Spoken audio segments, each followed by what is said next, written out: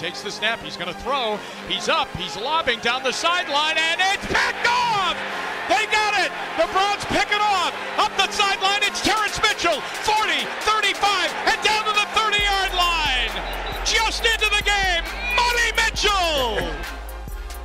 All right, we're joined now by Terrance Mitchell, the Browns veteran cornerback. And, and Terrance, what have you thought uh, of these first couple of games for the defense and specifically your role in it as, as kind of an every down corner?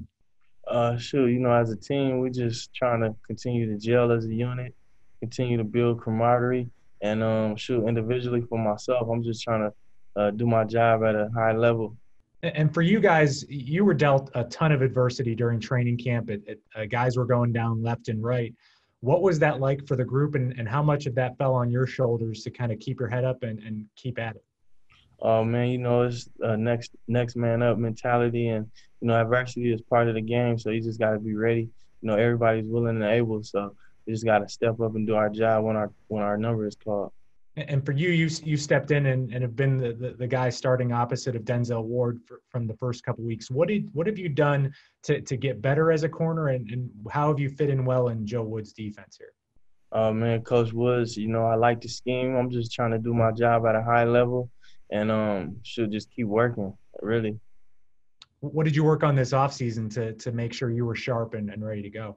Um, shoot, just same thing I've been doing my whole life. Honestly, like I was pretty sharp last year as well. It's just you know opportunities, and I'm just trying to make the most of it. And, you know, this show is all about the fans, and we got a, a Twitter question here from Jeremy B. He was wondering, who do you model your game after, or, or are you just going out there on your own and, and trying to be the best version of you? Uh, no, man, I like my top two is uh Charles Woodson and Al Harris. You know, I like their style of play, and shoot, um, that's why I kind of watch. What, what was it about those two that that really stood out to you? Well, with Al Harris, his ability to be um, dominant in bump and run coverage, and Charles Woodson, his ability to do the same, but also make plays, strip strip receivers, running backs, just move around real uh, loose. All right, Terrance. Well, thank you so much, and, and good luck this week against Washington. All right. Yes, sir. Thank you.